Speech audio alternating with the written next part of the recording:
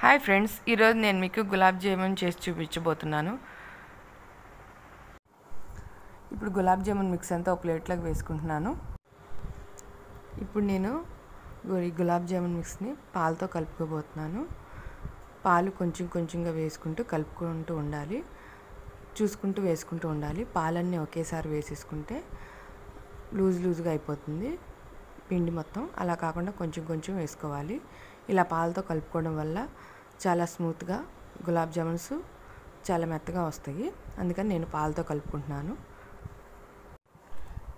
ఇప్పుడు ఈ ముద్దని చక్కగా కలుపుకున్నాను. గట్టిగా వత్తకుండా కలుపు స్మూత్గా దగ్గరికి గట్టిగా కలుపుకోవాలి. ఇప్పుడు ఈ ముద్దని కాసేపు పక్కన పెట్టుకుంటున్నాను నేను. నాతో ఉంటుంది. ఇప్పుడు స్టవ్ మీద గిన్నె పెట్టి స్టవ్ ఆన్ చేసుకున్నాను. పంచదార మూడు కప్పులు తీసుకున్నాను.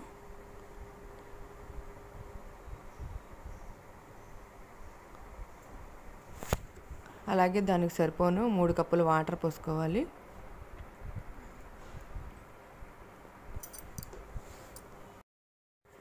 పంచదార కరిగే వరకు పాకాన్ని మరిగించుకోవాలి.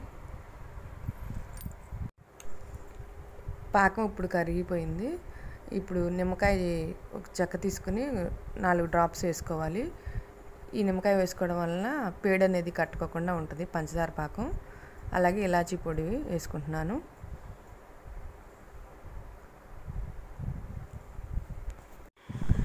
ఇప్పుడు పంచదార పాకం మనం పూర్తిగా రెడీ అయిపోయింది. నేను స్టవ్ ఆఫ్ చేసేసుకుంటున్నాను. ఇప్పుడు ముందుగా తయారు చేసి పెట్టి ఉంచుకున్న గులాబ్ జామున్ మిక్స్ ఉండలు చేసుకుంటున్నాను.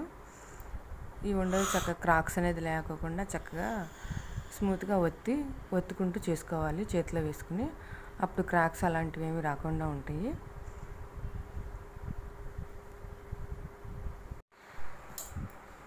ఇప్పుడు ఉండలన్నీ చక్కగా తయారైపోయినాయి. అలాగే స్టవ్ మీద నూనె పెట్టుకున్నాను. నూనె కూడా కాయిపోయింది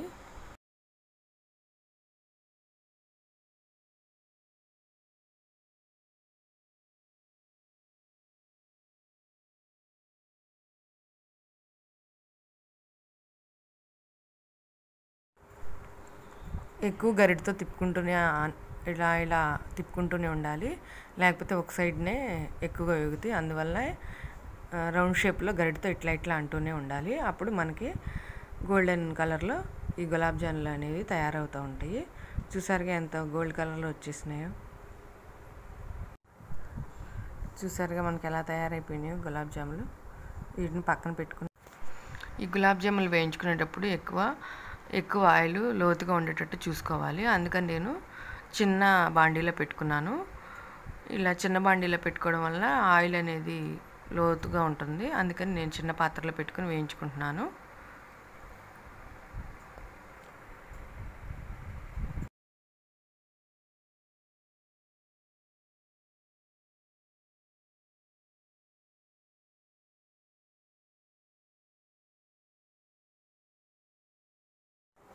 ఇప్పుడు వీటినన్నీ సమానంగా ఒకసారి స్పూన్తో ఇట్లా తిప్పుకోవాలి.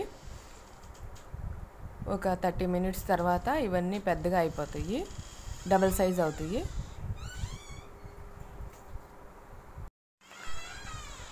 ఇప్పుడు మన గులాబ్ జాములు రెడీ అయిపోయినాయి.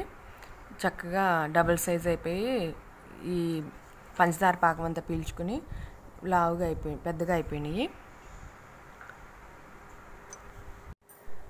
చూశారు కదా ఫ్రెండ్స్ మన గులాబ్ జాములు ఎంత బాగా తయారైపోయినాయో? చూస్తుంటే నోరు ఊరిపోతుంది.